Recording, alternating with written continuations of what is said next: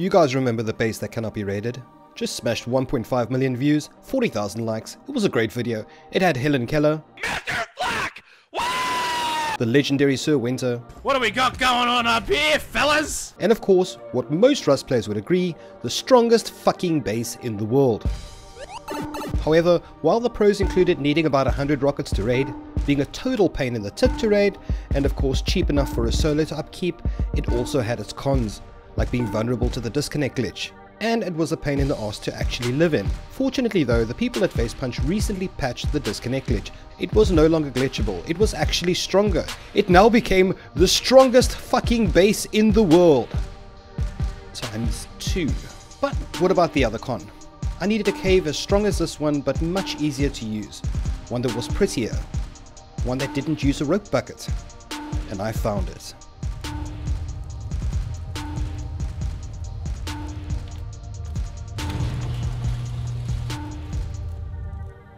Hidden somewhere on the map is a secret tunnel. And it is a very special tunnel. It's a tunnel very similar to the one that you find at military, except it's standalone. It can spawn in any biome, and much like the Kardashian family, it is filled with massive gaping holes. All the tunnels in here are dark and confusing, except for one. Door number 2. After a small mine shaft and a brightly lit tunnel, you get to a patch of blue lights on the roof. A cave exit to your right, and the entrance to that cave on your left. Down a naturally lit tunnel you'll find Noob Nightmare, or the Spike Pit of Death. Just beyond that point, a massive, always lit cave. It has high ceilings, wide walls, beautiful blue lighting, and enough space to fit a clan. Now while life is too short for difficult entrances, I'll be sealing up the entrance and making the exit my sole entry point to the space. So, when I enter the magic cave, I will head to this batch of blue lights. Never again using the spikes, I head for the exit down a short tunnel to get over here. While it may be easy to spot with the fire burning at the top, you would miss it otherwise. I have to jump up onto this little rock over here and then onto that platform to get inside. It's a little tricky at first, but once mastered, it's a breeze. The clumsy entrance is what will serve as the main base's defense. I plan on putting turrets by that fireplace over there, and whilst the raider flops up the slope, he will get shredded down quicker than a samurai on 300 grams of meth. Now I know how sneaky raiders are. They like to fire incend rockets at turrets. And turrets don't like fire. And the jumping needed to enter the cave will prevent a raider from firing because you cannot fire a gun while jumping. And in the unlikely event that they manage to fire a rocket from outside of the exit, the low walls will prevent the fire from reaching your robot bouncer. Another nice thing about low walls is that they prevent the turret's laser from exiting the cave hole, so anybody who runs past that opening won't actually see the laser beam. It aims into the wall. However, turrets do aim up and down, so the moment the raider actually gets up to that platform, they will instantly be respawning back at their base, in their sleeping bag. Other cool features of this cave include a partial third story ceiling over here, and a corner itching for a TC or some kind of a high value loot room. I don't know, that's up to you. I'm not going to tell you how to use this space. I will tell you this though, a good idea would be to start by placing a foundation at the entrance, trying to make sure that it's definitely as center as possible. Once centered, wall it off and armor the lot. As well as the second layer of armor. The sides can be whatever you want, sheet metal, stone, it makes no difference. The raider can't actually fit through the side. You just want to cover it up so that they can't see down the sides and start working out how to raid it. An armored roof is definitely necessary though to prevent the rats from squeezing through.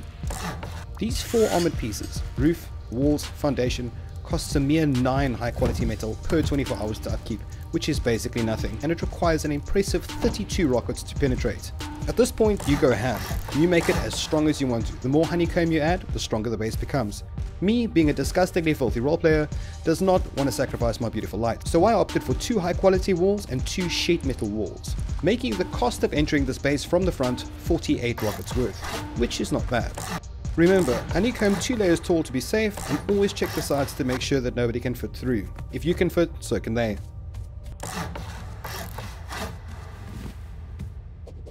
Now again, I'm not going to tell you how to build your base, but I do imagine my base being uncluttered, beautiful, have a whole bunch of storage containers lined over the back wall. Maybe using that side area for like a TC or high value loot room, explosives maybe, that type of thing. I can suggest this though, the more turrets placed, the faster they kill.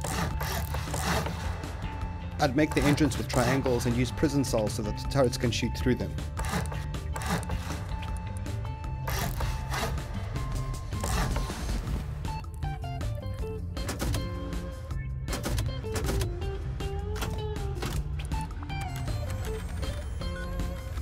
If they were to fire an incense rocket and it landed inside your turret room, it will completely burn it up like three turrets in a big bowl. Nice. One thing I would recommend for your turret room, get rid of the low walls, put on half walls, stack on more half walls and then destroy the lower half walls. Replace them with low walls, leaving you with a military style pillbox. The likelihood of them firing a rocket and into that small gap to destroy your turrets is virtually impossible. I've seen people do some crazy shit, but not this. Fuck no. As mentioned before, another great feature of this cave is the third floor. Perfect for hidden loot or if you're a real man, an adorable bedroom. Can you imagine the amount of things you can fit into this huge amount of space?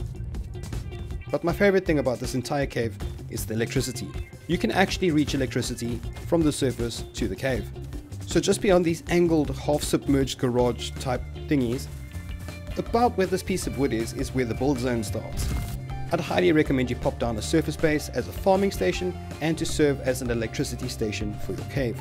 Get some authorization, attach a cable, while attached run down the tunnel to magic door number 2, up the secret exit very clumsily and you will see that the cable just just reaches the ground. Now I imagine my electronics would be on the third floor, all hidden away and professional like, and just like that, a world of electricity awaits. Which means no more darkness. Or even better, auto lights. Self-promotion! Or better yet, my latest invention that I thought of mere seconds ago, the Daytime Detection System 3000. Popped on a light, solar panel, and boom! You suddenly know when it's daytime and when it's nighttime.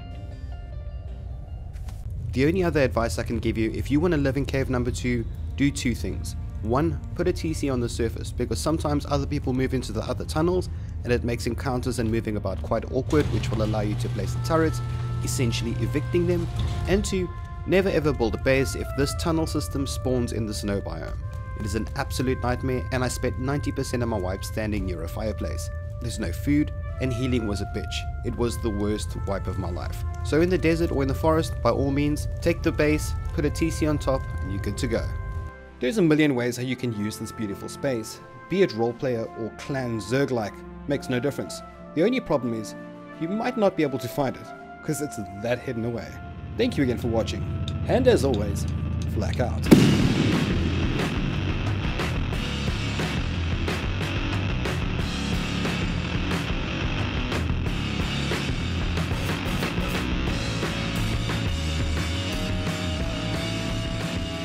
And just a couple of announcements. I do want to say sorry to my follower from France, Baguette Colossip34. I do apologize. I forgot him out of the credits for last week's video where we had an epic cinematic to take our land back.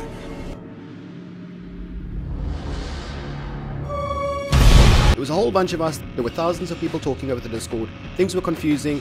Unfortunately, I forgot to mention him in the credits, and I just wanted to say, sorry, buddy, you're awesome.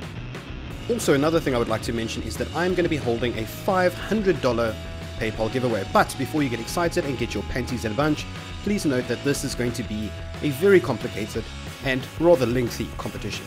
See, what I plan on doing is hiding a secret code in every video. From this video, the first person that emails me the message I win will win a $500 PayPal prize.